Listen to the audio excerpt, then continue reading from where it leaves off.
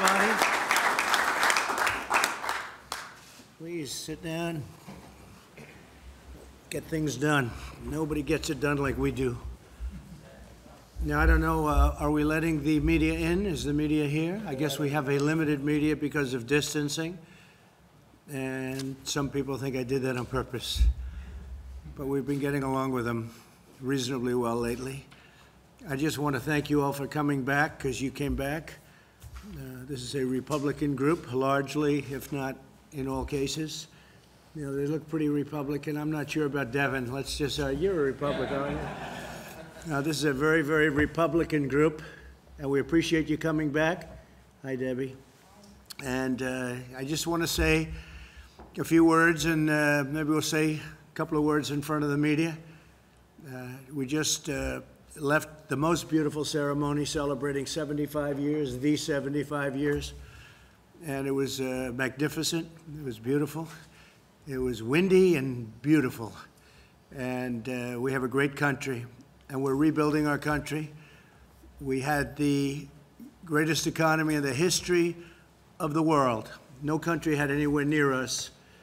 And we had the best we've ever had, but we've had the best ever in the world. Uh, China is a very good competitor, but we were doing much better than China, and that's before COVID, before this plague came in. Uh, we were doing much, much better than anybody, best we've ever done, and we had to close it down. It was an artificial closing. We had to just close it down. Never happened, a thing like that never happened before. We did the right thing. It's uh, horrible what's happened. It should have been stopped. It should have been stopped where it came from, which was China.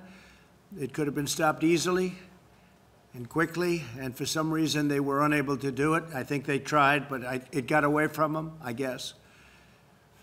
But it's a shame, and so many hundreds of thousands of people around the world have been killed, 184 countries. Uh, but we're going to build our country back, and we're going to build it back fast. This group of people, we all did it before, and we'll do it again. We created something that has never been seen before. And if you are somebody that likes history, and I think everyone in this room likes history, you wouldn't be doing what you're doing.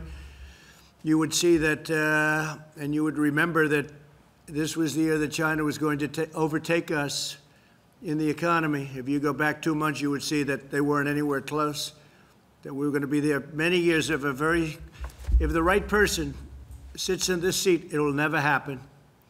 If the wrong person sits in this seat, it'll happen in a period of uh, a few years or less. It Can happen almost immediately. So uh, we are in a position where we have to start all over again, and we will start all over again, and we'll build something that was even better than we had before, recognizing that so many people have died.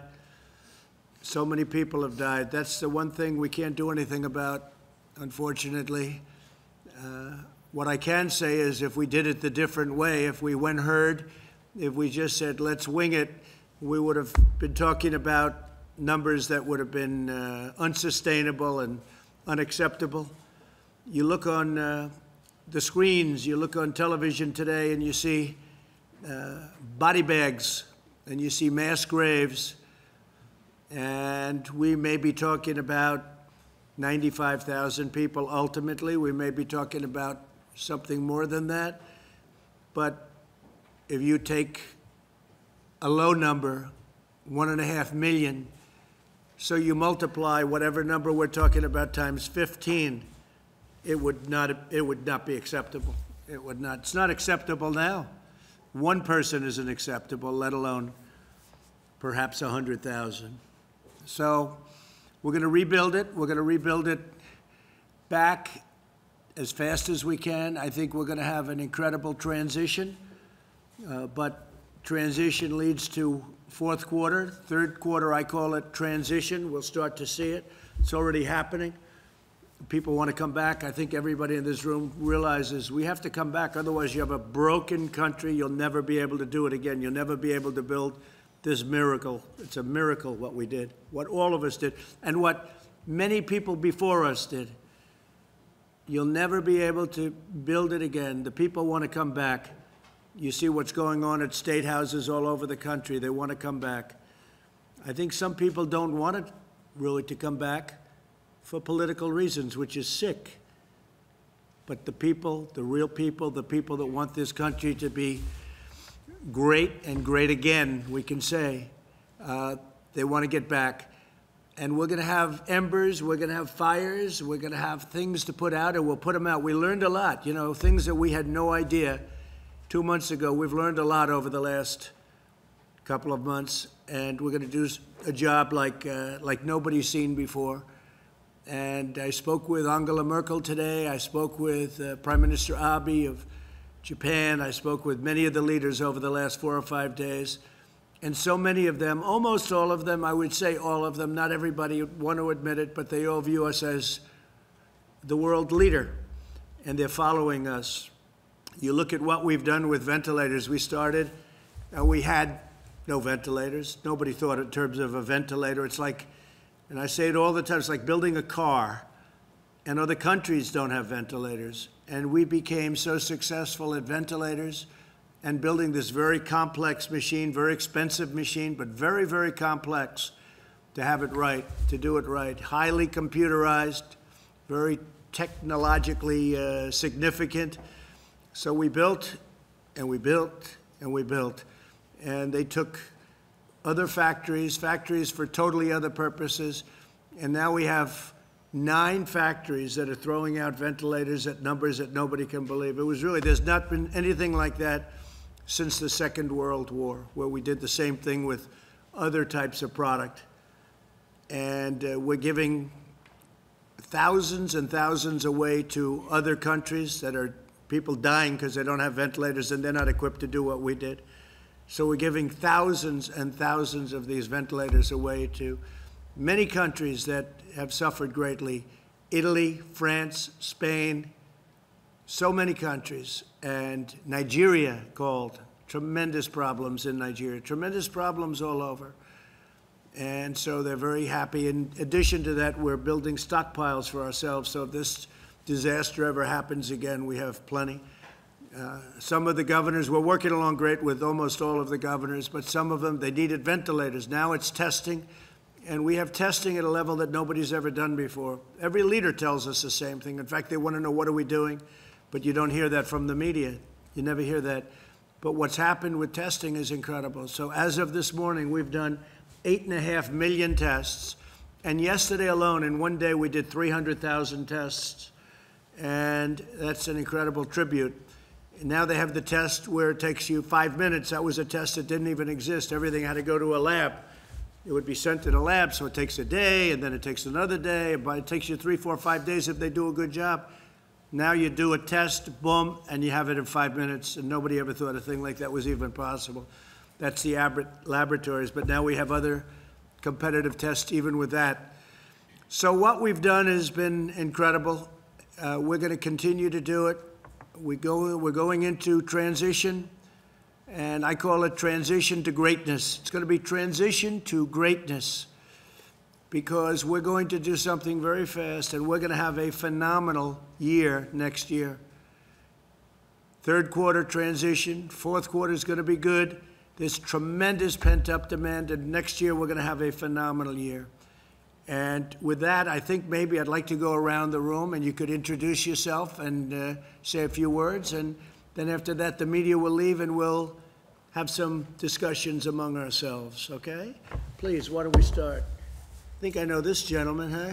And by the way, Kevin has done some job. He should have had the job a long time before he had it. But that's okay. We have, we have a great man, and he's going to be, hopefully, a great Speaker of the House. We got to get him there. If we get him there, when, and when I say hopefully, hopefully we're going to win, because I have no doubt he'll be a great Speaker of the House. We don't have to hope about anything. He's done a fantastic job. Kevin? Well, Mr. President, I do want to say one thing. As you and the First Lady were out there um, honoring what transpired 75 years ago, that um, we had to end the tyranny of what Hitler was doing throughout Europe. We now battle something that is like a war. That this is a virus that came from a distant land that we did not invite. But just as we had to transform our country then and unite, that leadership you're providing is doing just that. As you talk about ventilators, gearing up, testing, more than 1.7 million in one week. Um, The ingenuity of this country will solve this problem. And we will not just solve and get a vaccine for us, but for the rest of the world. I, I do want to thank you, coming from California. Um, I know I have a blue state, I know I have a, a governor, but the way you've worked together, watching you send those Navy ships to New York and to California, build those hospitals in the time of need, I do want to thank you on behalf of all- everyone in California. Thank you for the very much. done. Great state. Thank you very much. Elise? I think they'll turn it on. Thank you, Mr. President, for all of the support for New York State. This has been a true partnership, and the administration has stepped up, whether it's ventilators or building uh, the Javits Center, which was tremendously important. My district in upstate New York, people are eager to get back to work safely. Our tourist businesses, our hotels have been devastated. So as we talk about this transition, making sure that we allow our small businesses to get back to work safely is so incredibly important. Also, our farmers. Thank you to Secretary Perdue for stepping up. We have dairy farmers in our district who are going through a crisis, but we know that you support the farmers, and we're appreciative of all of your work for New York. And I know you've worked effectively with Democrats and Republicans in New York State, so thank you. Thank you very much. And so for the farmers, you know, we gave $12 billion two years ago from China uh, through tariffs because they were targeting our farmers. And then we gave 16 billion, and this year we're giving 19 billion to the farmers. And that's more money than they've ever even thought about. And it's keeping them in a position where, really a position of strength, but they deserve it, what they've gone through for 18, 19 years. This isn't a new phenomenon. This is for years they've been ripped off. So we're taking care of our farmers. Thank you very much, Elise. Thank you. Dan, please. Oh, Thank you, Mr. President. Thank you for having us here, and thank you for working every single day. You know, Speaker Pelosi would have the, the America believe that we can only show up to Congress to vote every, once every three weeks. Of course, that's not true. We could be working every single day, uh, just like this administration is, and I appreciate what you've done. Appreciate, uh, working with us for, to protect our energy industry. You know, America is, is in, is in real dire straits with oil prices the way they are. We're deeply worried about that in Texas, and uh, your administration's been excellent to work with on that front. We understand how important energy independence is to our nation. Texas is reopening, and I think it can be a model for the rest of the country as we step out of, of retreat and move to actually confront this virus head-on and get people back to work.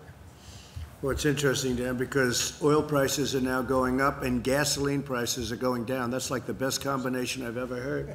So our millions of people in the energy business, I think is gonna be, you know, that's moving up.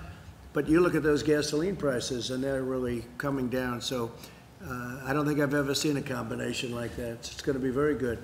A lot of good things happening in energy. Jared, you should say something because you headed up our whole ventilator problem that this country had. We, the cupboard was bare when we took it over. People don't realize it, they don't want to say it, but the cupboard was bare, that we had nothing. And I could say that for the military too. Dan would know that almost better than anybody, and the folks that are so much and so well, well-versed on military, but, uh, our military cupboard was bare also. We had obsolete equipment, we had old equipment, and now we have, uh, we've never been in a position like this. We have the best equipment in the world, all made in the United States. But Jared, uh, why don't you give a little, a little talk on what we did with the ventilators and how that just became such an incredible story? And we're doing the same thing with testing, and we're pretty close to a point where we're equally as good. Go ahead. Yes, sir. Uh, On ventilators now, the good news is that every day, the balance that we have in the stockpile that the country has uh, continues to grow. Initially, it was very uh, scary in that we had a lot of states requesting numbers that uh, could not be supplied, and a lot of you were very helpful at getting the local hospitals in your districts to give the actual data to the federal government, because the president wanted to make sure that anybody in this country who needed a ventilator would get a ventilator. He saw what was happening in Italy, where people were uh, dying in hospitals and not able to get the care they needed. And the president said, I don't want that to happen in America. Uh, deploy every resource uh, that we have, get all the intel we have, and let's do our best to try to make it work. And we were able to make it work uh, thanks to your leadership. And then what we were also able to do is use the Defense Production Act uh, at the president's urging, and uh, we were able to contract 11 uh, different ventilator companies. Uh, last year, America made about 30,000 ventilators. This year, we'll make about 150,000 in a four-month period. And so we're in a place right now where we're doing well. A lot of our allies, the countries that are friendly with America, are starting to get uh, ventilators from us. and we have more than enough to take care of all the American citizens. So been a great success story. And on testing, um, the numbers continue to grow. We have uh, all the supplies that we need to do it. We've now educated all the governors. We have over 5,000 testing machines in the city. We've had the commercial sector through the public-private partnerships that the president, uh, you know, had us lead. Uh, Those have now identified over 5,000 machines. We've done DPA on swabs, so we're making a ton of swabs. We have reagents. We have uh, transport media. We've been working with all the governors to uh, help them with the National Guard on how to better collect samples. And so we're seeing those numbers starting to really rise. And uh, when you look at the number that America's done relative to any other country, we're two to three times uh, the next, uh, the next, uh, the next uh, number. So on an absolute basis, the job that, that, that you've led on that has been absolutely tremendous. And that's giving the tools to America to start opening up these counties and allowing Americans to get back to work. Thank you, Jared. You've done a great job. Someday people are going to appreciate it. They say, oh, he's a relation. Well, he's a relation. If he wasn't a good relation, I'd get him out of here so fast. Sometimes we have a problem, Louis. I say, get Jared on it. Uh, Great job, Jared. Thank you. Smart guy. So here's another smart guy. So Devin, uh, I think, I thought about Devin more over the last couple of days than anybody else, because this guy would come in and he'd tell people what was going on, and nobody believed it, because it, it was not believable. It it wasn't true, that they would be doing a takeover of a presidency illegally, and all of the illegality that was going on. And he was the first one, our superstar Jim, and all of us will admit this guy was just, he wouldn't stop. Devin Nunes, he wouldn't stop. He saw it before anybody, and you deserve a medal. You deserve the equivalent of Pulitzer Prizes. They ought to take the Pulitzer Prize away from all of these phony journalists that got a Pulitzer Prize, and they, they were wrong. They were wrong on everything, and now they've been proven wrong. I saw where Clapper, not a smart guy. How do you have not a smart person heading up intelligence? How does that work, right? You have a man uh, who is not smart and he heads up intelligence, and that's possibly what happened. They ran away with it, but but he knew what was going on, and I'd watch him on television. He'd say the worst things, and now I know why Shifty Schiff, dishonest, corrupt politician, why this guy didn't want these papers exposed, because all these people said under oath, where they go to jail if they lie. They were totally, no, I didn't see any collusion with Russia. I saw nothing. No, I saw. I said, but he was on television before and after saying there was massive collusion, like Putin was my best friend. We had no calls to Russia. We had no calls from Russia for years. And all of a sudden, we have this great friendship. And by the way, getting along with Russia is a great thing. Getting along with Putin and Russia is a great thing. And stuff like this makes it impossible. And that leads to very bad things, very bad things. But I have to say that uh, Devin was incredible. He understood it. He understood that it was a hoax before anybody else knew what was happening. And then I have to say, the people in this room took over and did a hell of a job with you, right? They had guts. They had guts like nobody's ever seen before. Uh, I want to thank you on behalf of our country, and I'd like to have you say a few words. Well, well, thank you, Mr. President, and uh, it's unfortunate what you had to live through for the last four years. Uh, Yeah. Your, from your campaign to your presidency, and I appreciate your kind words, and for all the folks in here who have worked so hard uh, getting to the bottom of the Russia hoax situation. Uh, Let me just talk a little bit about the uh, situation our country's in now. I know you're well aware, we've had six, seven weeks here of keeping people inside their homes. We've learned a lot about this virus. Uh, There's still a lot more we need to learn. Uh, We need to learn what our uh, friends over in Asia were doing at the time that this virus uh, was taking off and the issues with the World Health Organization. Uh, And I believe with your new pick, with John Ratcliffe, uh, member of, of the House Intelligence Committee, member from Texas, he's going to do a great job getting to the bottom of this, and I think leading the intelligence agencies uh, through some, what have been some pretty dark times over the last few years. And, and I think we should say Rick Grenell has done a great job, too. In fact, John called up, John Ratcliffe called up two days ago. He said, you know, I'm really looking forward to this, but I don't know if I can top the guy we have in there right now. And he was, uh, he, he's gonna do a phenomenal job, but Rick Grenell has, Yeah, he's done a has been incredible. I mean, we're Before that, finally- we had an empty seat. We had an empty seat, but Rick Grenell, what he's done Even Louis would admit that. And I saw Rick yesterday walking in with thousands of pages of paper into the Justice Department. We didn't see that before, did we, Louis, huh? Rick Grenell did a great job, and John is going to be phenomenal. Well, Please. Mr. President, what we expect and the American people expect is transparency from our law enforcement agencies, and uh, I think we're well on our way to, to getting that. Uh, I want to also thank you for bringing us back here to show the American people that we can be here and do our work. Um, The Democrats uh, are cowering uh, at home right now, uh, and it makes no sense uh, because we've learned so much. I can understand for the first few weeks, but uh, we're learning. We have ventilators. Uh, we have we're learning new ways how to treat this virus. And if, if we're expecting, as you know, you've been in my district. It's uh, the San Joaquin Valley of California, heavy agricultural area. Uh, my folks have been going to work. My folks have been going to work, and uh, because they have to feed this country along along with a lot of the folks around here. And, uh, you know, if we expect the guys that are, that are cutting meat or working at a grocery store, uh, working in these packing plants, if we expect them to go to work, uh, we ought to go to work as members of Congress. And I'll just leave it at that. Um, I will say I got you all of your permits necessary from the federal government for water. You know, we throw millions of gallons a day of water into the Pacific Ocean that comes from up north. And when I saw Devin, I say, how come those fields are all barren? They're beautiful land, all barren, brown. And then they'll have a little patch like this, a little patch in a corner, or a little patch on one side, and it's beautiful green. You could see it was so. And I said, "How come so much of it, ninety percent, ninety-five percent, it looks like a desert?" And you have this. He said, "We don't have water." I said, "You mean you have a drought?" This is a long time ago we met, right? Right at the beginning, before I got elected. And I said, "You mean you have a drought?" He said, "No, we don't have a drought. We send millions of gallons of water out to the ocean to protect a very." Uh, well, I'll never say anything's unimportant. I think everything's important. To protect, go ahead, what's the name? Uh, The smelt, Delta smelt, yeah. So you have a Delta smelt that's not doing well. It's getting no water, and it will do a lot better if it had water.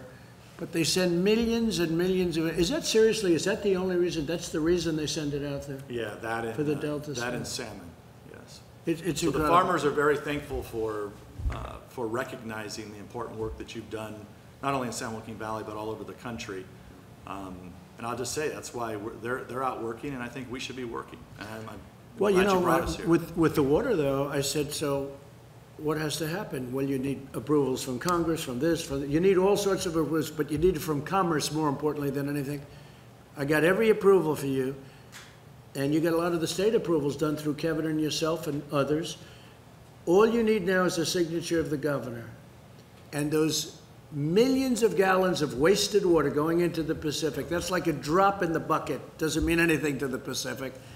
All of that water would come right down all the way into Los Angeles. And, uh, you know, in Los Angeles, I had a house in Los Angeles, you couldn't, I sold it. You know why I sold it? Because Secret Service says you can't come here anymore. I said, I might as well sell it. But I had a house and you couldn't, you couldn't have water. You couldn't water your grass. They said, oh, you're not allowed to water your grass. And then you look at this massive turn, they had a turn. It took, it takes a day to turn it, like a big faucet.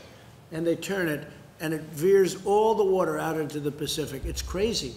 So we're all set, except you need Gavin's signature. If you get Gavin's signature, you're going to have water from Los Angeles all the way up. Yeah. And it's the most incredible thing I've ever seen. I, Well, I thought, you. I thought it was a drought. I said, you missed, he said, no, we have tremendous amounts of water, but we send it out to the Pacific Ocean. And it, was over the uh, smelt. So, uh, if you can get his signature. Well, I know, I, I know you, you know, during this time of crisis, we need to work uh, with the governor, and I thank you for, for working with our governor, who's obviously not a supporter of yours. Uh, But there is a serious issue there that the, the governor needs to recognize that we have a water crisis uh, in our, in our state uh, that you've recognized, and he needs to drop the lawsuits that he's, that he's brought and uh, work with us. Well, we've gotten along very well, Gavin Newsom. We've gotten very well with regard to uh, COVID-19, as we call it. Uh, In that respect, he's been fantastic, and we've been fantastic, and he said very generous things. But on other things, we disagree, like the water. uh, like cars, because you can have a car for much less money that's equally good environmentally, but much safer, better, better car. California forces you to build a bad car that doesn't work well, and uh, there are a lot of reasons uh, for not doing it that way, so we'll end up, so on that, we don't agree, but we agree on, uh, we agree on the coronavirus, and uh, on that, we've gotten along very well, and we've done a great job for California and for everybody, and, and uh, he was very honest about that assessment. Uh, It would be great if you could get the water, but you're all set, okay? You're all set, just, I say that to Kevin, too. Get his signature, and you, you're gonna have so many, you're gonna, all those thousands of acres are gonna be opened up, and they'll have plenty of water for Los Angeles, too. So they won't have to ration. They're gonna water, they're gonna ration the water in California. It's the most incredible thing I've ever seen, and yet they're sending millions of gallons out. So thank you very much, but thank you for, originally, thank you very much for the job you've done. Appreciate it. Thank you, sir. Please. Uh, Ted Budd, North Carolina. Yes. I want to thank you for having me here. Uh, I also want to thank my colleagues from the House. There is no vote today. There's nothing we're voting on. Uh, The Speaker, Speaker Pelosi has not brought us in to, to do anything meaningful, but we're here to lead by example and to say that we're ready to work. So uh, we need something meaningful to help those back home. In North Carolina, we're very grateful for all the work that you've done here. And again, Secretary Mnuchin, want to thank you as well for all that you've done. The PPP and the work that you've done for Main Street has helped keep these businesses intact so that we can have, uh, intact so that we can have this quick recovery. Uh, We're ready for Q3. We're ready to get going. In North Carolina, we're ready to rebuild. Great job. Thank Thank you. you. Thank you, Mr. President. Guy Reschenthaler from Pennsylvania. I just want to thank you and the administration for holding China accountable. I think for way too long, no one's held China accountable. And the fact that we're looking into the World Health Organization and how they really worked hand in glove with the Chinese Communist Party to cover this virus up in the early days is absolutely shameful. So thank you for bringing attention to that. In Pennsylvania, we're having a really hard time because the governor has had such draconian uh, shutdown measures. We're now number one in unemployment claims, but we're only number five in terms of population. Uh, instead of protecting the most vulnerable in nursing homes, which where you had 65% of the deaths, if not more, in Pennsylvania, he just had a, a draconian measure, one size fits all approach that lacked any kind of nuance, and it's destroying our economy while at the same time leaving the most vulnerable exposed to this virus. So thanks for calling out the governors that are going too far with this and calling for America and Congress to go back to work. So what the Democrats are doing in Pennsylvania is a disgrace, okay? It's a disgrace. Uh, Thank you very much. Thank you. Mr. President, Mark Green from Tennessee, great to see you again. Thanks, Um, This, uh, thanks for your leadership. This COVID-19 thing has been unprecedented. Um, You know, it's a challenge to both the world and the United States, our country. Um, A China made wor, or a, a challenge made worse by China and the delays in information to us, the deception. I mean, China lied and, and people died. And as an infantry officer, an ER physician, former business CEO, I know that when a leader is caught in an ambush, that leader has to make split-second decisions with the information that they have. Uh, Mr. President, I'm proud of the decisions that you have made. Uh, Decisions like banning travel from China, which these guys all laughed at and criticized, but it saved American lives. Sir, you saved American lives with those decisions. And we in Tennessee, we thank you for that. Um, we're opened up for business. We're going to the restaurants and business is running again. We're ready to lead and we appreciate your phased plan. We're implementing it in Tennessee. Just thank you for your leadership, sir. I really appreciate it, and uh, your governor is doing a great job. He And is, you're right, though, we banned people from China coming in, and they said, oh, but you did allow people, yeah, they were American citizens, and they were allowed in under very, very strict rules and regulations and quarantines and everything else, but we banned people. And uh, a number of our leading doctors said that would have, that saved hundreds of thousands of lives, and that was in January. And I remember being in a room with, I think, 21 people, and I was the only one that wanted to do that. Nobody else wanted to do it. They thought it was, they thought it was crazy. It had never been done before. Nothing like that had ever been done before.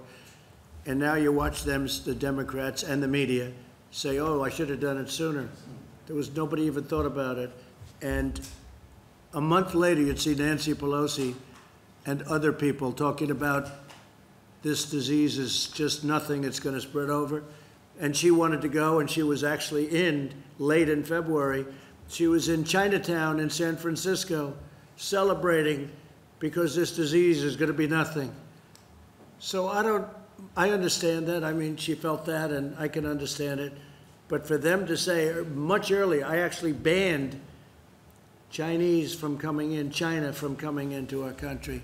It's a, uh, it's a, just such a political disgrace that they're able to get away. It's just like uh, Shifty Schiff making the statement today to try and save face when we have him cold on the papers, on the documents, and in about 19 different ways. It's, uh, it's so bad and so sad for our country. Thank you very much, Mr. Mark. President, you, you ban, you put that ban in place before they even named the virus. Yeah, You, s- you saved Americans' lives. Thank you. thank you very much. I appreciate it. Thank you, Mr. President. Kelly Armstrong from North Dakota. We're an ag and energy state, so we've been uniquely hit on a lot of this stuff, but I'd like to say thank you for standing, standing so tough with Saudi Arabia. That was a huge deal for our oil producers. Obviously, you've been great for agriculture, but thank you especially for your statement yesterday in support of cattle ranchers. Sometimes they get lost in the mix, and they've been getting hit pretty hard right now, so we really appreciate that. And then just, you get this economy up and going, and we'll do what we do best, and that's feed and fuel the world. And that demand is coming back, and you're up to $25, $26 a barrel, and uh, a little bit more, and you're going to save your energy uh, industry, really, because we're number one. And Russia and Saudi Arabia, I got them together, and they came to a good conclusion for us and for them and for everybody. And once that demand goes up, it's going to be uh, great for the energy industry, so thank you very much. Thank you, sir. Louis? Yeah, Thank you, Mr. President. And uh, uh, echoing the thanks, uh, if you had lost that election uh, in 2016, we would never have been energy independent. And uh, it's been great for Texas, it's been great for America.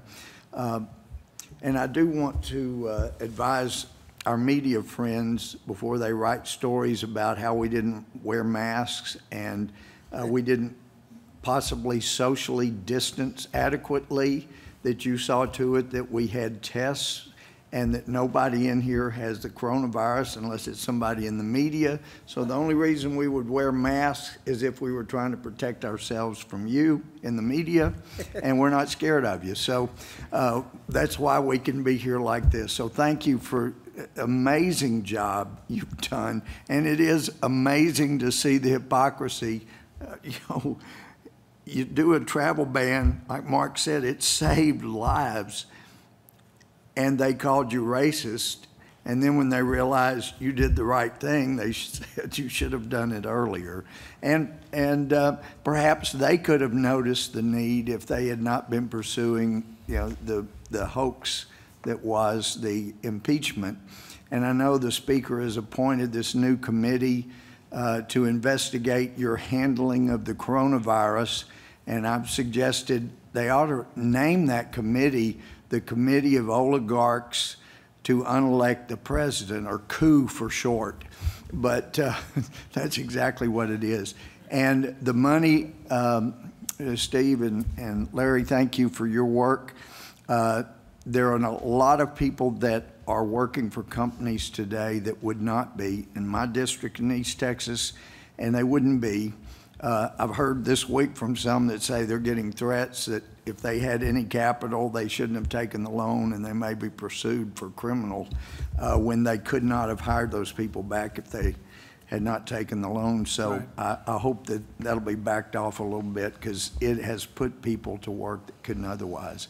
But I'm optimistic, and I wouldn't be if you weren't president. So thank you for the work you're doing. Thank you. Louis, and you've been a great help. And if we didn't win the election, we wouldn't have found out all of the corrupt practices that are Never taking known. place at the top of the FBI with uh, dirty cops and all of the things that we found out about other people in other agencies that are equally as important. Uh, All of this, we, we went on Drain the Swamp, and that's what we're doing. But nobody ever told me the swamp was going to be this This- vicious or this deep. And And we're doing it. And Could I make a suggestion on the justice area? Um, And I know that with the Democrats in charge, some of the most important reforms may not happen. But the FBI is the only law enforcement entity I'm aware of that has not even come into the 20th century, not even asking them to come into the 21st. Everybody else does videotapes and audio tapes, and the FBI interviews witnesses and goes back and records their own notes of what they want to say a witness said, and then it's easily changed. And we need to bring them into the 20, 20th century where they start at least doing some audio recordings so they can't change them. So that's one of the lessons we have seen from what's happened in their effort to create a coup. And not only do they not record, but they write their notes, and then when the notes are bad for them, they go and change them months later. This is a corrupt deal that's been going on. Yep. And we caught them cold, and now we have to see what happens, but Bill Barr has done a great job. He's a strong guy, and he's done a great job, and not easy. He's fighting a lot of fights, but he really has been great, and we appreciate it. Uh, But you're right about that. I, I said, "Oh, I'd like to hear a tape of what the interview was, and they said, well, no, it was just, and they write it out like scribble. Yeah. Uh, It's crazy, and then they change it. And they change signatures, they change everything. Say we don't have the old one. It's uh, one of the most incredible things, isn't it, huh? Yep. Thank you very much. Thank you. Appreciate it. The most Well, powerful guy in Dan, Dan, I say Dan, most powerful man. I, I just want to thank everybody in this room for the past three and a half years for supporting our president and the administration and everything you've done. Um, this man goes 18, 20 hours a day, as many of you know. He's the most transparent president in history. He's the most accessible too. There's nobody in this room that can't call or get through to him, mornings, evenings, midday. Um, but we love you all, and thank you so much on behalf of everybody here in the White House for everything that you've done supporting our president. Means the world. Thank you. And what a job he's done too, right, Mark? He's uh, been amazing, and he does it himself. Uh, I remember when I was running Crooked Hillary had 28 people, I had Dan. And uh, Dan blew them away. It wasn't even a contest. And we have now, I guess, six different sites, platforms, and we have uh, numbers that these people don't have. They don't even come close to it. So uh, when they write false stories, we can go around them, and it's very important to be, who need, who needs it? I wish we didn't need it. But unfortunately, we have to do that. We have to have that uh, because we don't get an honest press. Uh, Please, I'll tell you, Gates, you, you've been something. He's, he's out there, Devin, right? He's out there fighting. Thank you, Go Mr. ahead, President. Matt. Your, your team is here, we're ready to work, and we are inspired by our president. Uh, I have observed your willingness to work with anyone. I saw the Democrat governor of New Jersey categorize the administration's response as extremely responsive. I've noted on our calls that our Democrat colleagues in the House, like Tom Suozzi and Jimmy Panetta, have made contributions reflected in the great work that Jared has done on testing and that Secretary Mnuchin has done and that the chief has done as well. But I have to say, Mr. President, I'm deeply concerned about what we're seeing from the Democratic leadership. Because in the last several days, they have been caught in a terrible lie. Not only was there no collusion, we not now know that the leaders of the Democratic Party knew that there was no collusion at the beginning and willingly lied to the American people anyway. Now we see that they're reverting to their old playbook. As we want to work together to provide provision to our people and take good ideas no matter where they come from. Nancy Pelosi and Chuck Schumer just want to set up new committees to investigate rather than working together. I know that even before being president, you talked about the importance of the president being a great cheerleader for our country and for our economy. I note, and I know in the jobs report today, we can see that even the people who have been uh, furloughed or who are on unemployment now, they're optimistic that this is the team that will bring America back. What advice would you give us to try to have our Democrat leadership behave more like the governors you've worked with and some of the rank and file colleagues who've made helpful suggestions rather than just reverting to their hatred and their lies to cover their tracks for their last set of lies? I think they've been doing it so long and gotten away with it for so long, long prior to us, and they had that eight years, the Obama eight years, that have been uh, absolutely terrible if you look at the Justice Department and what's taken place. You look at the FBI and what's taken place. Uh, And frankly, prior to that, a lot of bad things went on. All we can do is keep winning, and if we keep winning, eventually they're going to come around one way or the other. May not be in that form, may not be them, because I'm not sure that you can do that with them. Uh, tremendous dishonesty from Schiff and from others. Uh, and they know it's going on. They know these are not stupid people. They know it was a hoax. They know better than anybody in this room it was a hoax. They set it up. They're not aggrieved. I watched Schiff, Shifty Schiff, nine inches around the neck. And I watched this guy uses the world's smallest collar, right? But I watched him, I guess this morning, talking about he acts so aggrieved, so aggrieved. He knows it was, a, he got caught.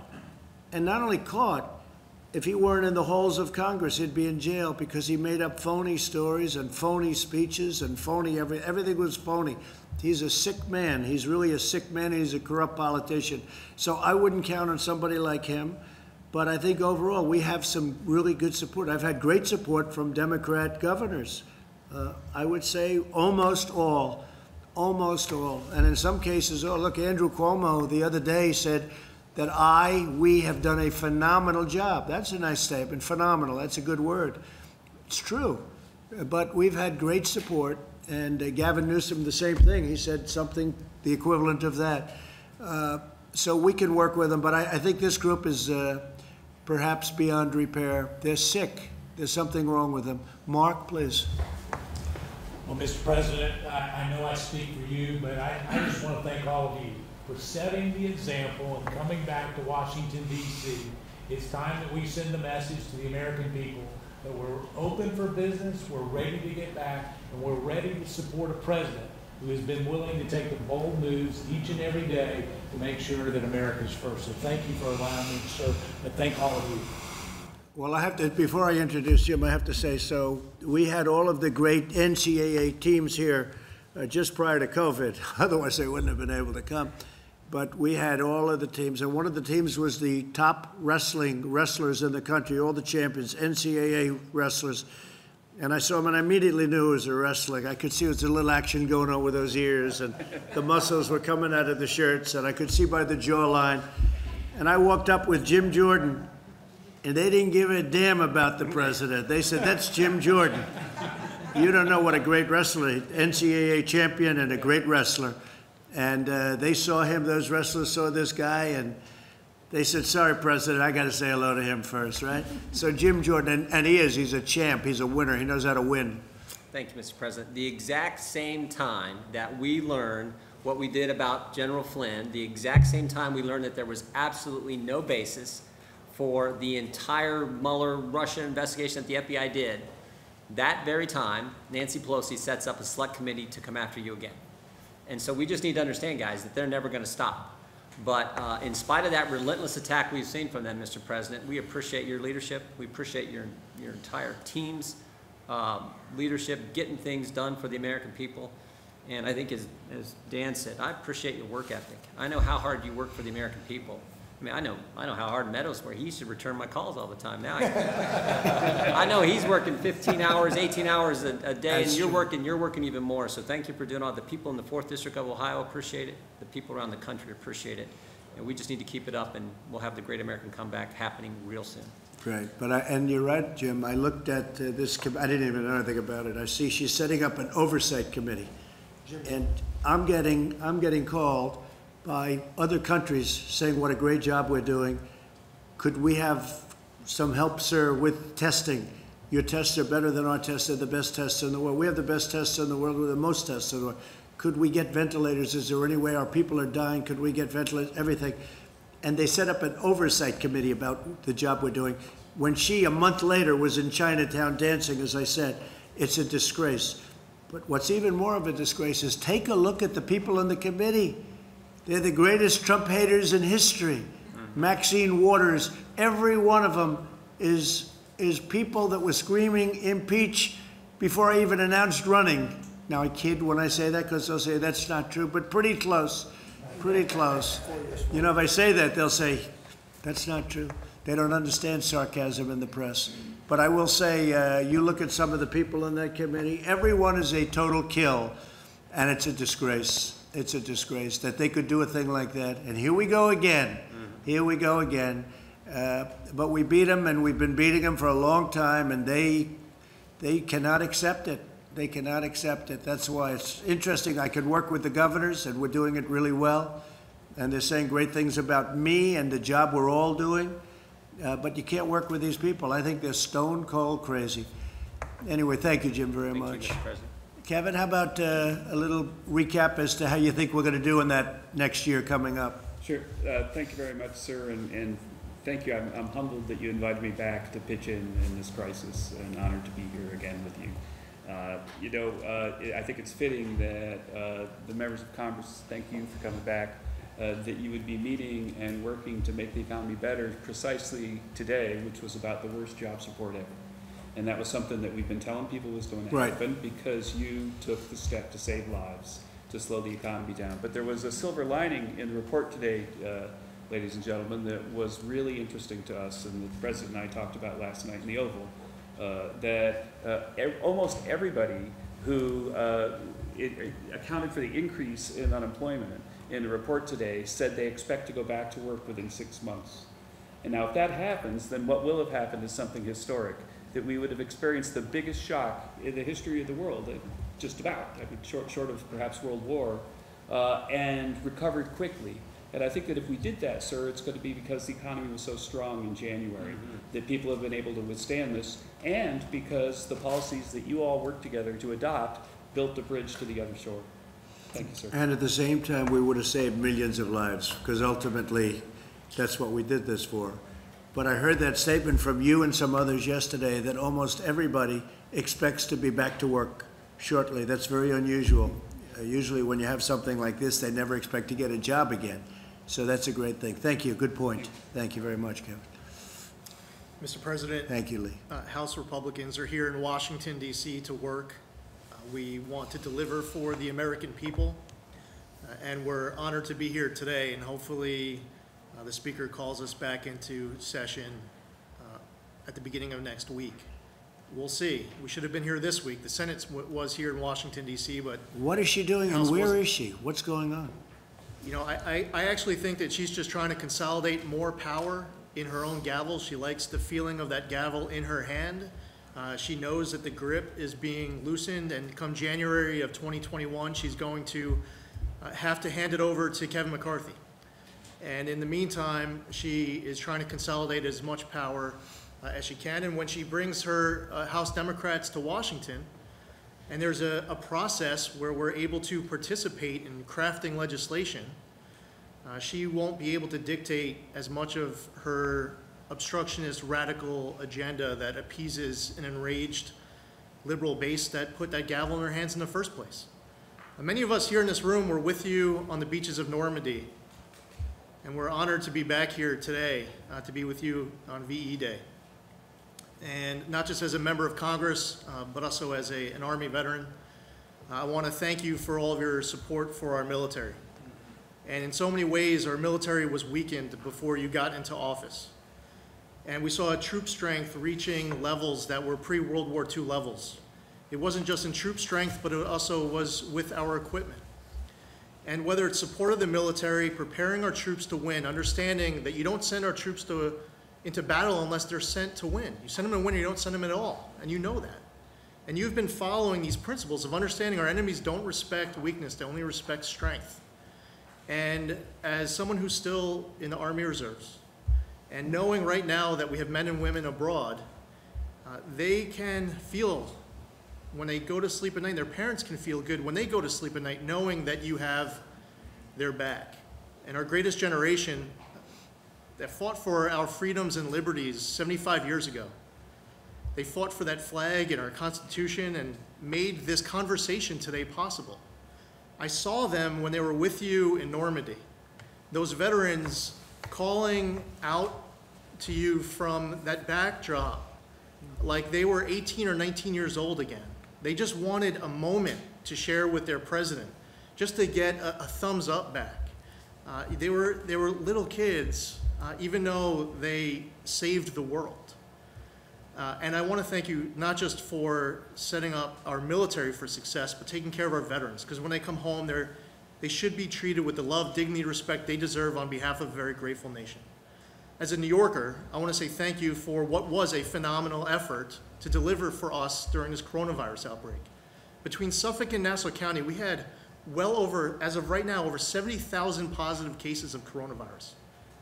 Between the Comfort, the Javits Center, field hospitals, Army medics, when you asked, when New York State asked you for public testing, immediately approved. They asked for private lab testing, immediately approved. They asked for semi-automated testing, immediately approved. I remember getting on the phone with Mark Meadows. Said, we, we needed ventilators. The 4,000 ventilators show up within 48 hours.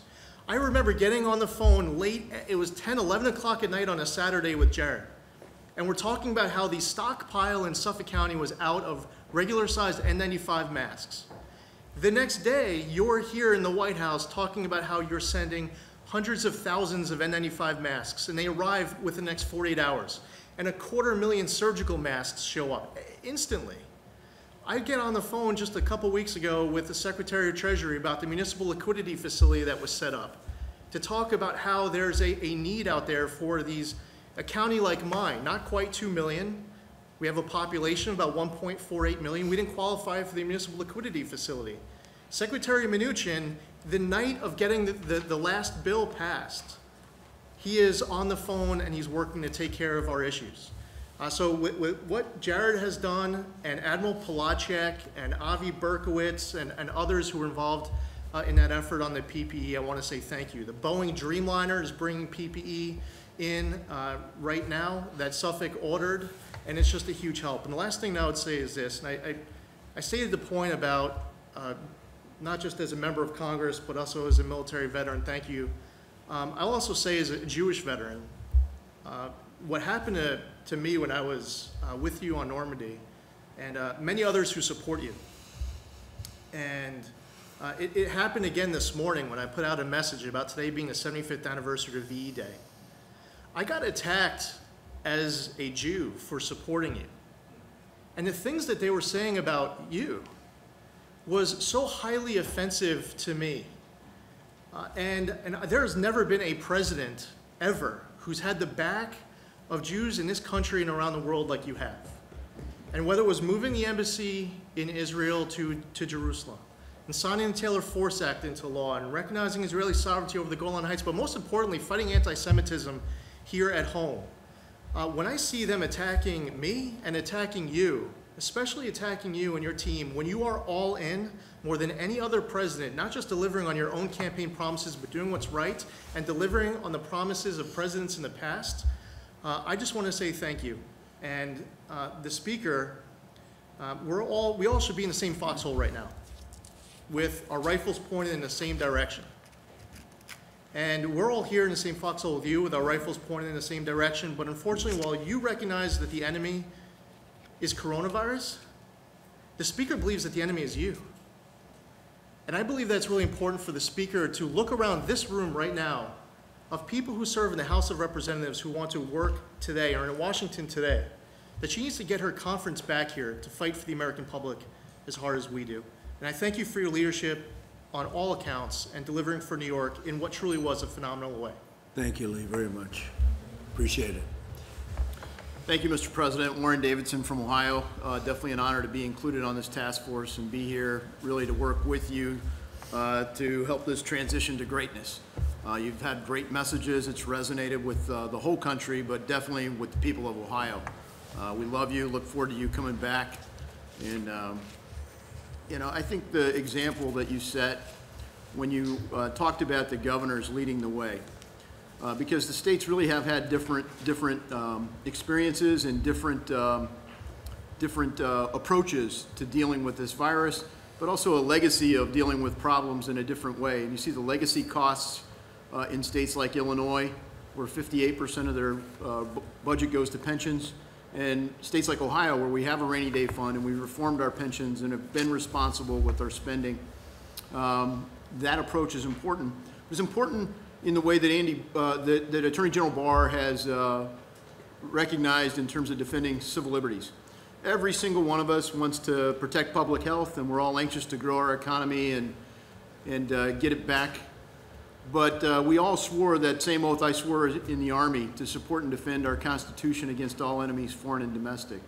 So uh, we take that very seriously, and the civil liberties that have been infringed upon, the sense of freedom and the sense of identity as Americans that's under attack on, in, this, in this era, uh, having the Department of Justice say we are going to defend freedom and lead that example is a big deal.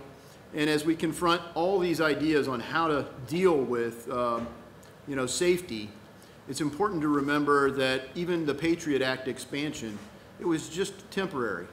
It was supposed to expire.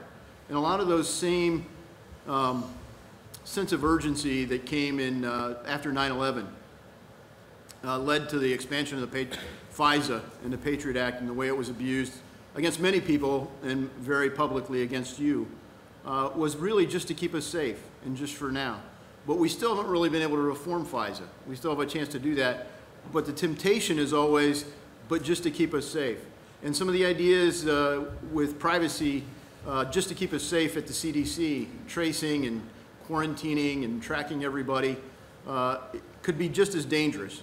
So I think it's good to safeguard against that. And then I think the last thing is we're talking about uh, VE Day. You know, the last time the planet had this much debt was after World War II, after the United States. So um, the Fed has been tremendous in trying to provide stability in the face of governments largely closing our economy. So we did owe it to people to try to provide the stability that we did. But most people realize that you can't print an entire year of GDP. So uh, we do have to be cautious about unsettling the monetary system. It's worked great for us since Bretton Woods. Uh, we, we have been the world's reserve currency, and we wouldn't want to give that up by being foolish with the uh, amount of printing we're doing, because it's not being lent. There's no lender. We're not really borrowing it. We're printing it. And uh, that's undermining the value, the full faith and credit of the United States. Uh, we have lots of countries doing that around the world, uh, and the dollar still is the strong one.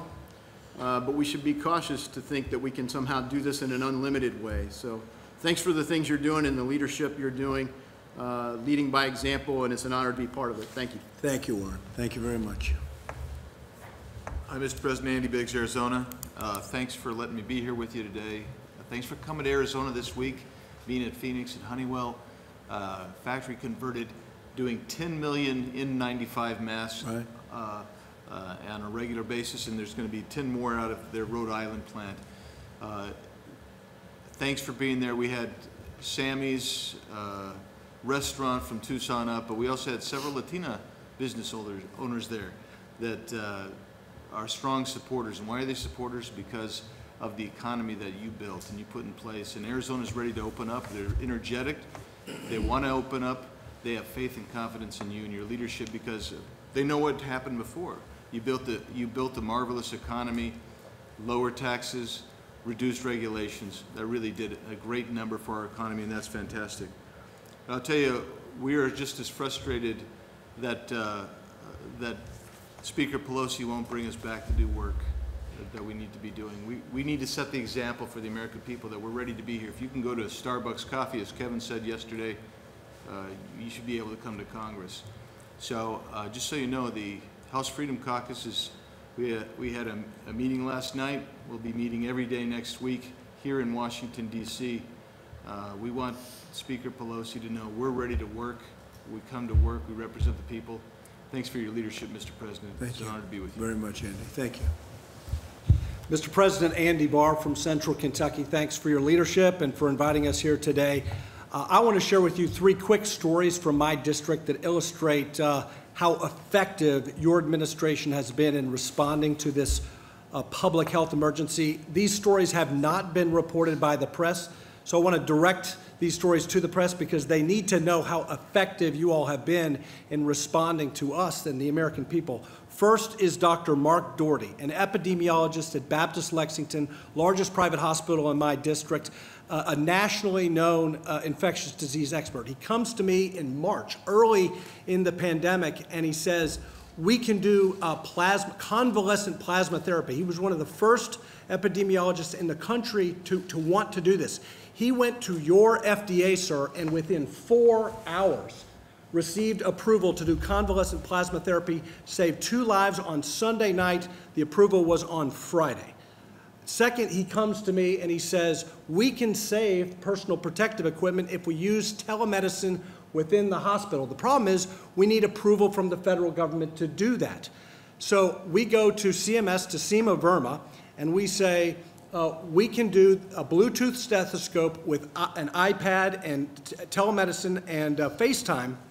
We don't have to send all of the healthcare workers into uh, the negative pressure room. We can, we can bring modern technology to the fight against COVID. We can protect healthcare workers, and we can conserve critical uh, personal protective equipment.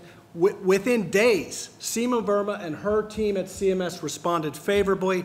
That is a nationwide policy change that saves lives for healthcare workers and conserves scarce personal protective equipment. And then the, and then the next story is Steve Stone from Nicholasville, Kentucky, works for Sagent Pharmaceuticals. He comes to us and he says there is a critical shortage of the sedative propofol, which is used for COVID patients on ventilators in New York, by the way. There was a shipment of a month worth of propofol that was held up by the, the government of Italy. So we got on the phone with A- Admiral Polowczyk from the, uh, on your team uh, on Saturday morning. On Tuesday, he had talked to the State Department and had the Italian government release to New York life-saving propofol for intubated COVID patients in New York City, a month's supply. And that was your administration and Admiral Polowczyk responding instantly to that request. And then th- the third story is Secretary Mnuchin and his team, uh, and Mark Meadows. We went to, we, we had a, a small business owner who was not uh, approved in the first round of PPP because he bought the business after February 15th. But this is a 35-year-old business, a dozen employees, $60,000 a year jobs, uh, a small business publication. We went to Mark Meadows, Secretary Mnuchin, his team, and within days, they changed the guidelines, frequently asked questions, new guidelines. We saved 12 jobs in Lexington, Kentucky because of your decisive action. So, Mr. President, thank you for the effective response to this pandemic and this crisis. Thank you. Thank you very much, Andy. Good afternoon, Mr. President. Uh, Scott Perry from Pennsylvania. I want to first uh, thank you for acknowledging uh, those NCAA championship wrestlers from Penn State. Jim Jordan, of course, as you know, is a big fan of those Penn State wrestlers. Uh, uh, Mr. President, thank you so much for your, your bold, visionary, decisive leadership. It has made a huge difference in Pennsylvania, in the district I represent, and across the, the Keystone State.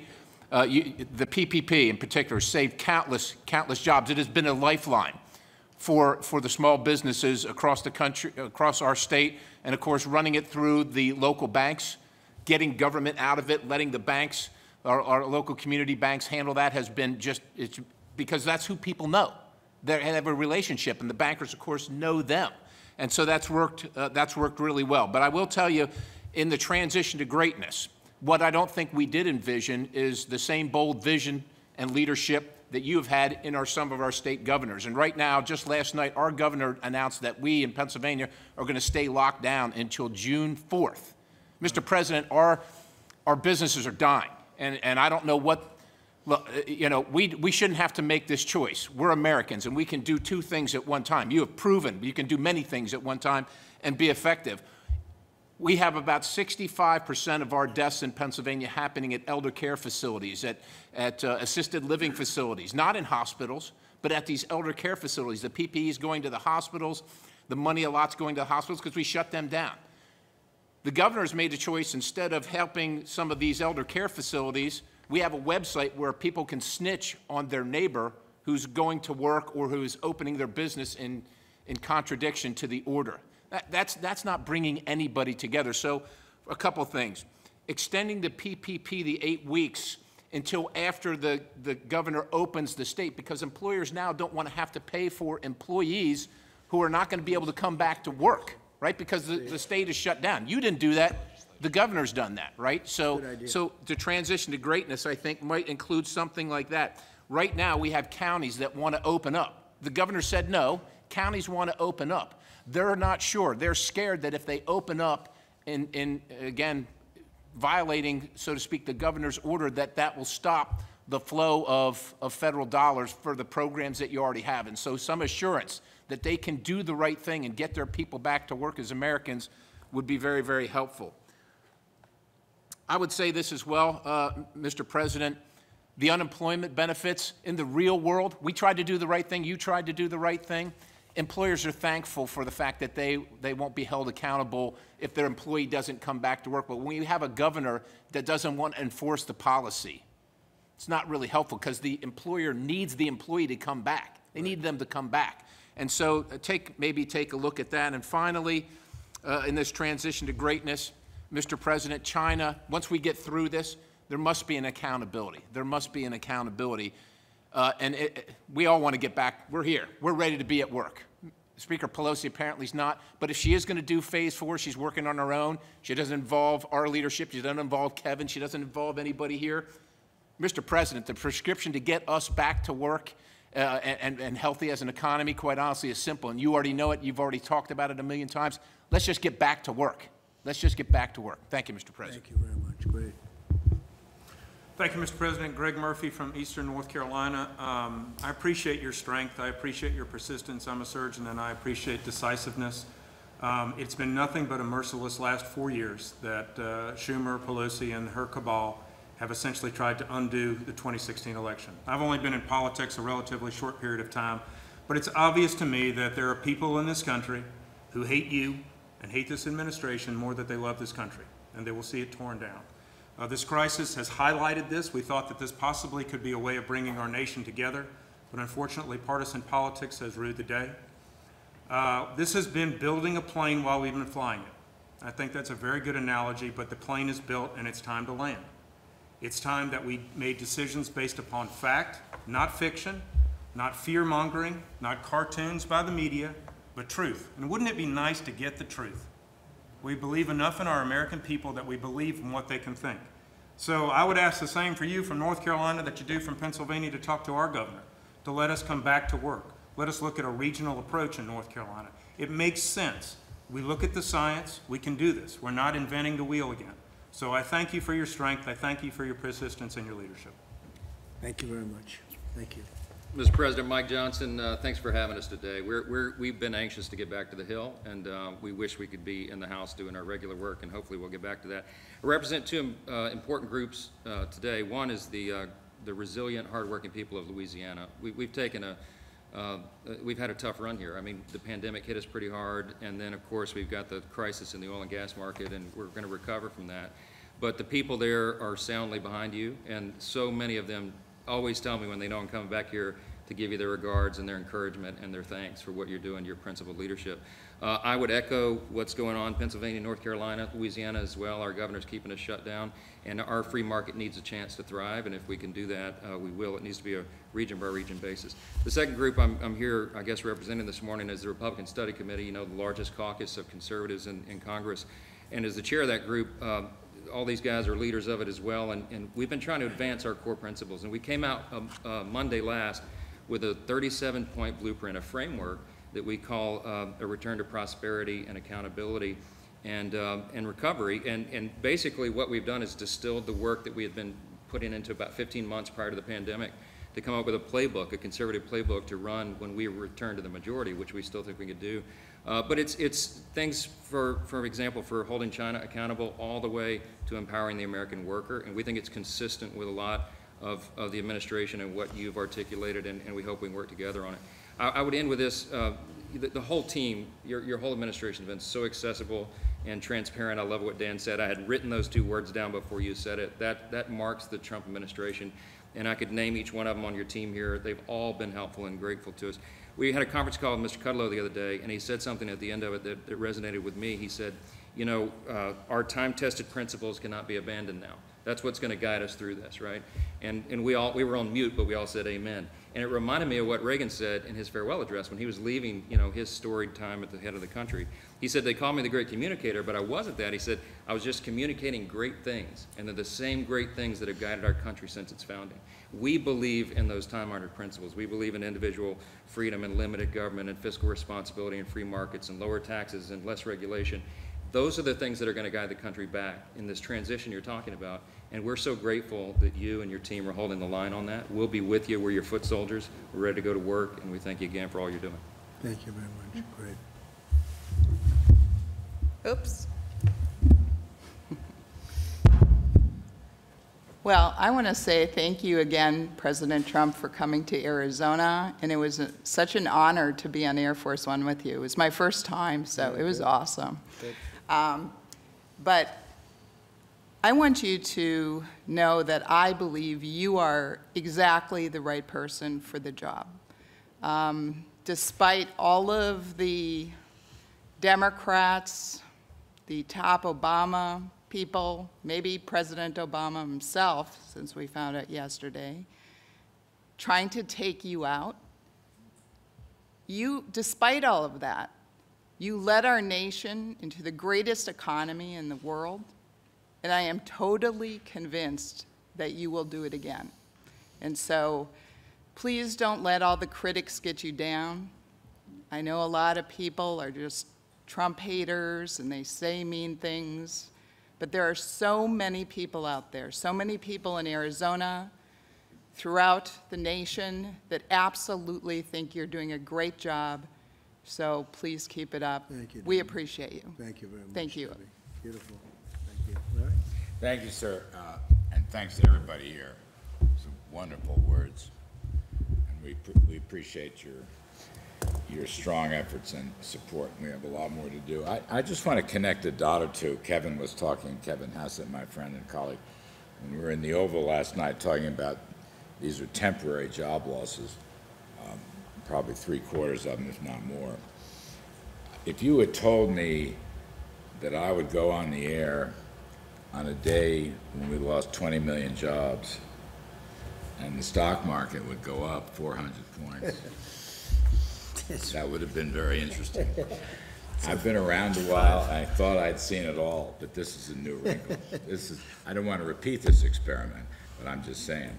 And I do think it's because it's temporary. And I do also think the stock market bottomed in uh, March 23rd. Um, I know it fluctuates and so forth, but I, I think that a lot of the things that uh, Stephen has negotiated, we've heard about the PPP extending it and so forth, I think that's one reason why the, uh, these are temporary losses and why the market is shrugging them off. And I do want to reiterate, it is very possible that we will get a lot of these jobs back fast. It's very possible, as private surveys and this, even the CBO, uh, we will have a 20% increase in growth uh, in the second half of this year, as you say, sir, as a transition. And then finally, I want to say that, and, and I appreciate your comments very much, sir.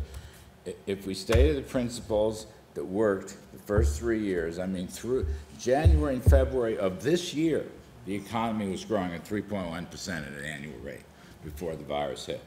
Uh, low taxes, rollback of regulations, uh, energy independence, uh, good, fair, reciprocal trade deals, the building blocks of a blue-collar boom, of a middle-class wage boom, middle-class wages and less, and a small business boom, which is the heart of the Republican Party.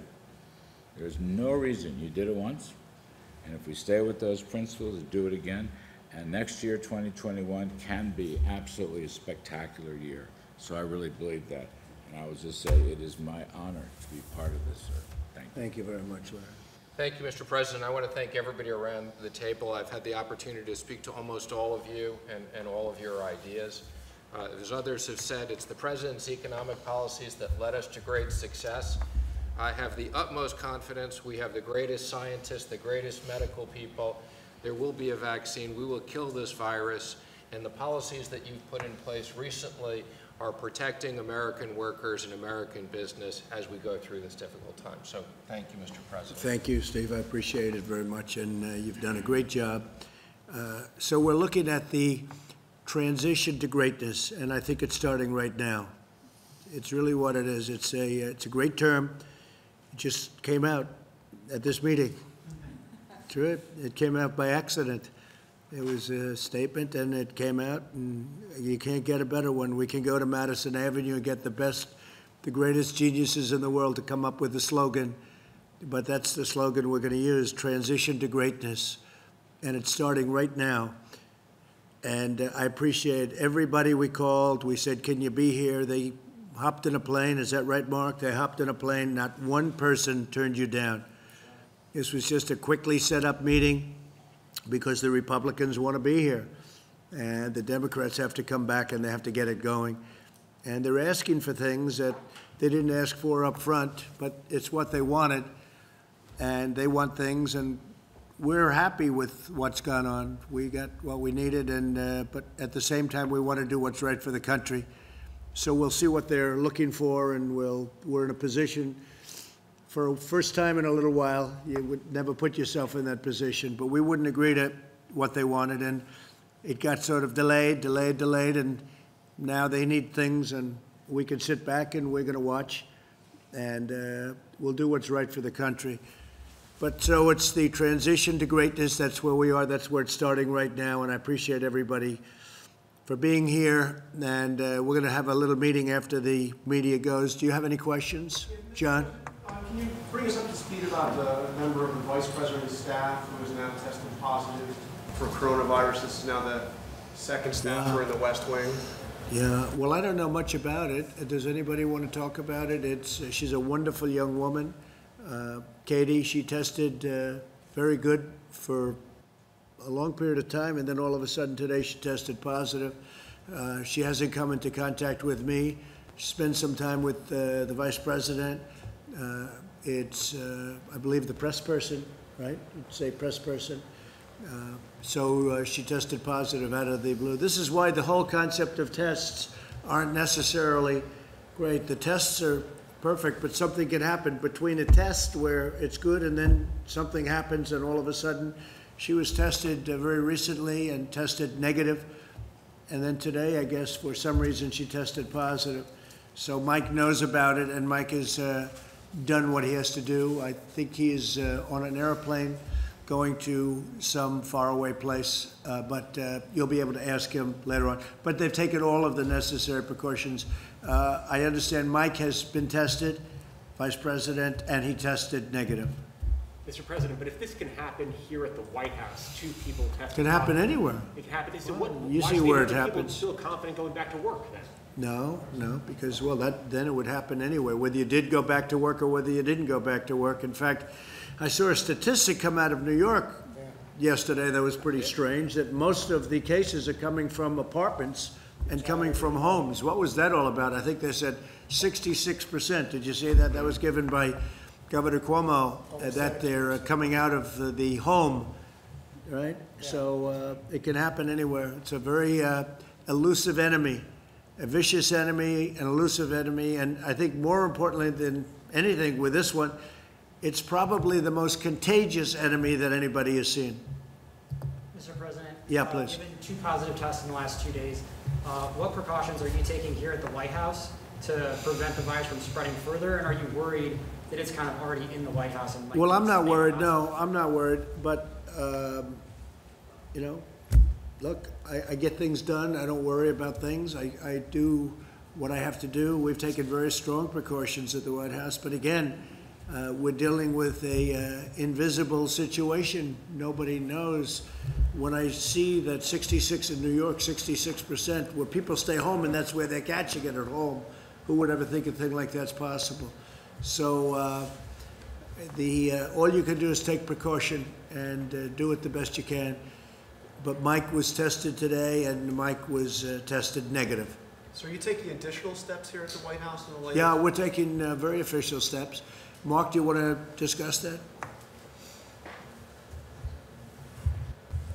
Uh, we, we've already put in a few protocols that we're looking at, obviously, to make sure that the president and his immediate staff stay safe.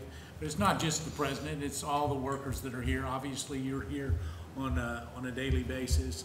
Uh, But the protocols that we're putting in place, uh, puts, puts a stronger emphasis on making sure that we do the mitigation that we need to do to make sure they're safe.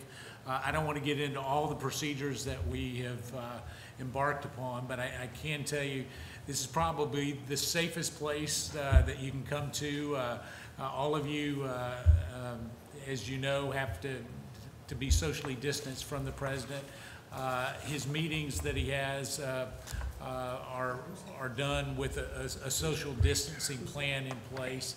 Uh, Outside of that, uh, we may take some additional precautions as it relates to the vice president and the president uh, in terms of uh, uh, just making sure that the people that come in contact with both of them are done, that it's done in, a- in a way that makes sure that we keep the president safe.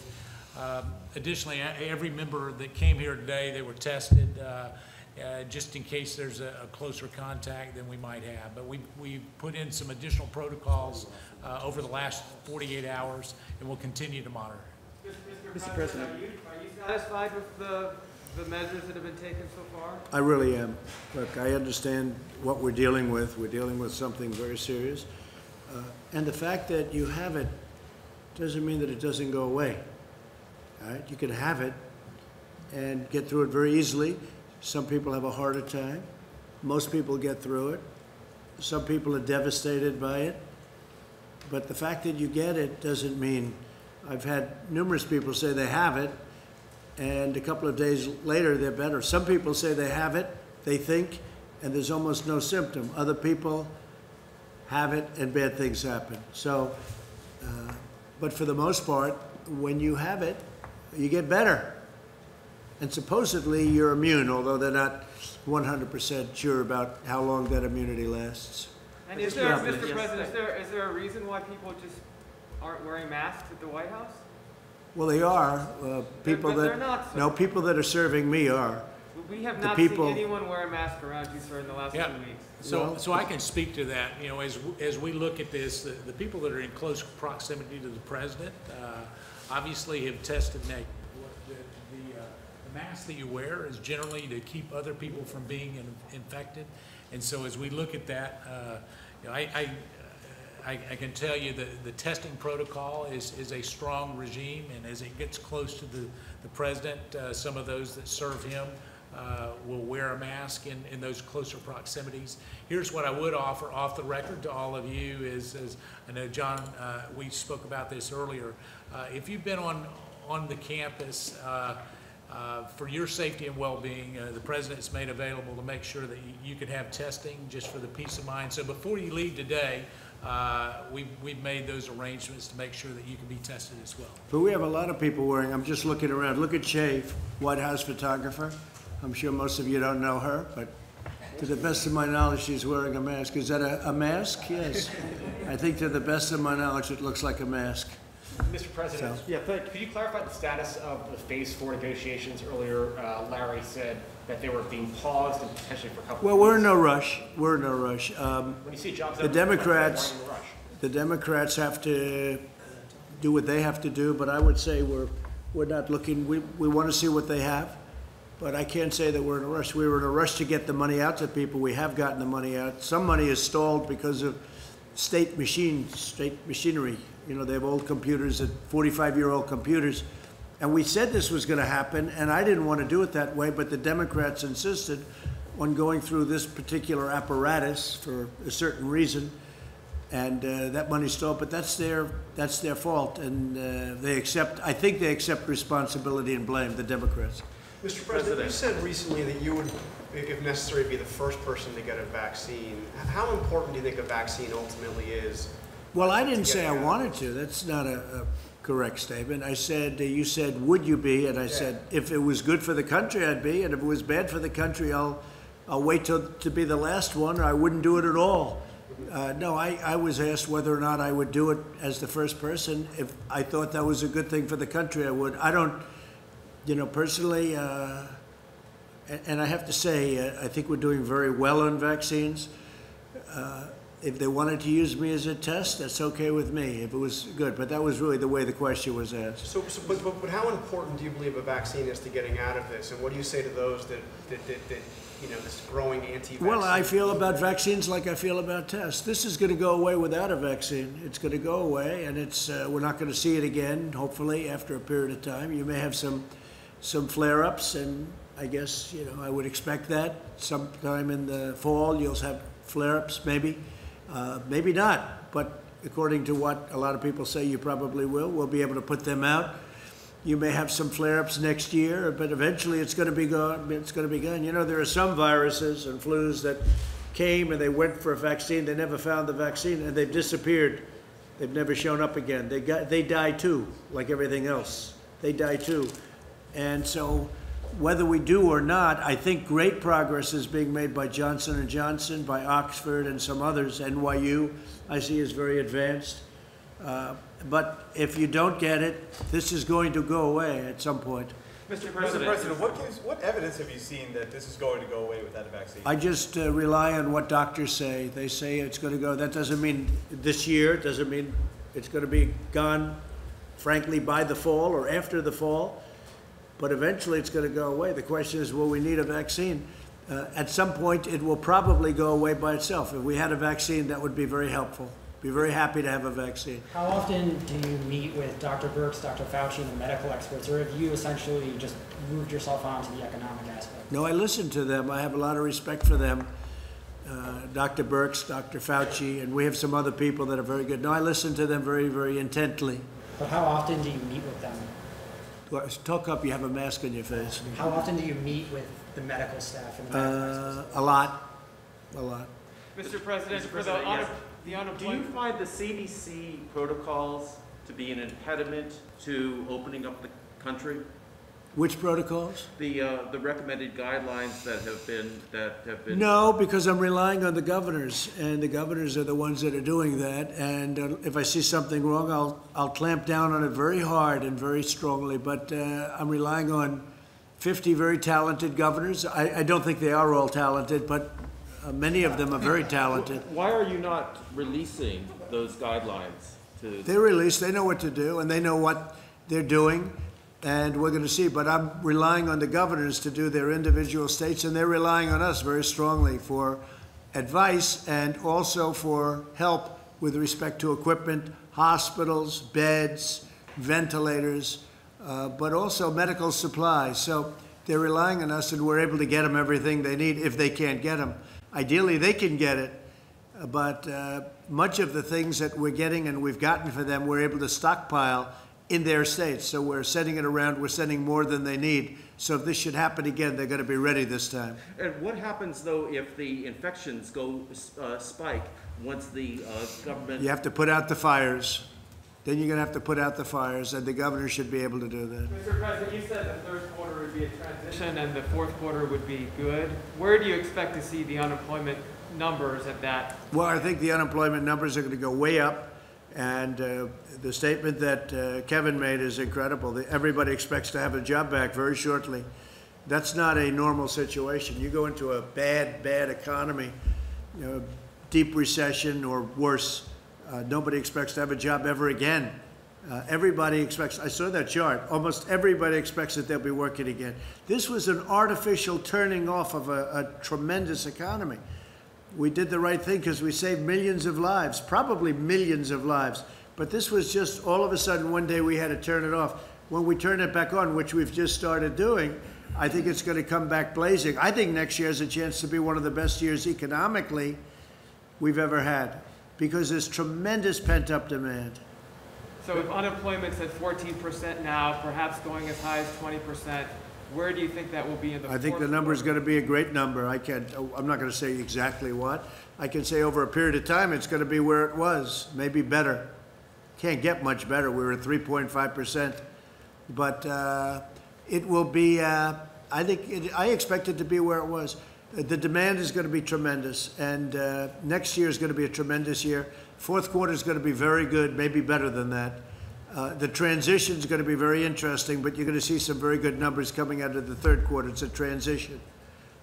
I call it the transition to greatness. We're going to have a great year next year. But do you You'll think see. we can get dug out by the third or fourth quarter of this year economically? Well, the third quarter, we're moving in that direction. Right, I would say it's starting right about now. We're going to start moving in that direction. But the third quarter will be, uh, I think it's going to be very good. It's going to be a very good indicator, but it's going to be very good. But it is a transition quarter. The fourth quarter is going to be good. It could be may- maybe more than good, Kevin. Uh, And uh, next year is going to be, I think it's going to be a really powerful year Mr. economically. Mr. President, Larry said this morning that he expects, expects the May unemployment numbers to also be, uh, you know, problematic, to be very high. Uh, what are you and your administration, these lawmakers, what are you Well, the main doing- numbers, we haven't started coming out of it, What and. are, what uh, are you all doing to provide relief to workers over Well, we're doing a lot. Look, look at all the money. We, we took two trillion dollars and we're spending it all over because we want to have a, we're throwing money at it. And over the years, they've learned that's much better than not doing it. So are Look you- at nineteen twenty-eight. In nineteen twenty-eight, payments they raised interest rates and they raised taxes. How did that work out? Not too good. Not too good. But if you look at 1928, 1929, the first thing they did was raise taxes, and then they raised interest rates, and they choked everybody to death, and it took 15 years to recover, more than that. Uh, So we, we do it, I- we're doing it the right way. We have a lot of great students of finance, I'm one of them, and uh, we're throwing money at it. And I'll tell you what, I've watched some people that, and read some people that I would say would not have agreed with that, and I haven't seen anybody disagreeing with what we're doing.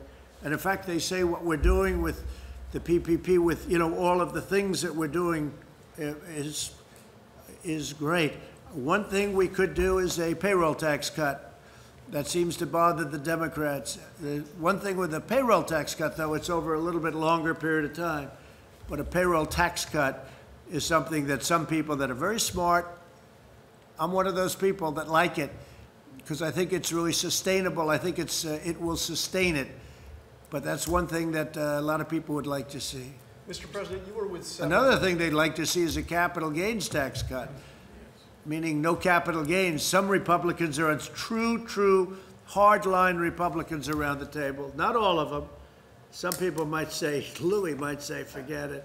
But uh, some people would say that a capital gains stoppage, uh, cutting capital gains, getting rid of capital gains tax, they've said that for many years would be a great thing. The true conservative Republicans around this table, of which there are about seven, seven solid, but I still like the other ones too. But they would say that, they would say that's music to their ears, right? So, we'll see. I would, I would be in favor of that, yeah. Mr. President, you were with seven American heroes earlier today, these uh, World War II. I was. All in their, in their 90s. Did you consider wearing a mask when you were with them, given their... No, because I was very far away. I appreciate the question. Uh, I was very far away from them, as you know. Uh, I would have loved to have gone up and hugged them because they're great. I had a conversation with everyone, but we were very far away. You saw. Uh, plus, the wind was blowing so hard in such a direction that if if the plague ever reached them, I'd be very surprised. It could have reached me too. You didn't worry about me. You only worried about them, and that's okay, because I think they're so pure it will never happen. All right, they've lived a, great life. But uh, no, the wind was uh, howling, and I didn't see anybody with masks. I don't know, maybe there were, uh, but uh, they were. Uh, they were great. I had conversations with them, but I was standing, as you noticed. Would you say I was quite far away? No, thank you, John. Mr. President. uh, Appreciate that. Your book was very good, by the way. Thank you. It was uh, better than I thought it would be. No, it was actually a very good book, but it was actually uh, better about me than I thought it would be. So I appreciate it. You knew me for, you've known me for a long time. 26 years. This wasn't really in the schedule, right? I knew him long before I thought in terms of this, but uh, we had one very good story, right? When we were interviewed at the hotel, and he took a lot of guff. They said, he's not running, why you did, this was before I announced, and I've been toying with it for a long time, but never did it, never decided, and he took a lot of guff. But he also got great ratings when he did that interview, so I don't know, but it was, it turned out to be a very interesting interview, it sort of the first, so. sir. It was Yeah, your book is very good, congratulations. How's it doing? Uh, bestseller list. Bestseller, Bestseller, that's good. Like, like Congressman Crenshaw. that's good. Dan has a big. Oh, Dan, Dan is doing good, right? Well, is that because I endorsed his book? That's a great book. That's, I'll tell you, he did something else great. He did a, uh, Kevin a thinks it's thing the best on book ever Nancy written. Pelosi that was so incisive. You- Did you see that? He did something that was so incredible, and I actually, I actually pinned it on top, right, Dan? We pinned it on top. You were fantastic. You've- Have you done this before? Yeah, I make videos all the time. You should share them, share 'em more. That's true. I'll tell you, great job, Dan. You're a great guy. He's a great guy. So any, is that it? Are you guys all Well, finished? one more, Mr. President. Yeah, go ahead. What kind of a mask is that? It's a, it's a mask, it's a blue mask. Looks like a catcher's helmet. What? That looks like a catcher's helmet. Go ahead. I used to The play mask. catcher, so it makes sense.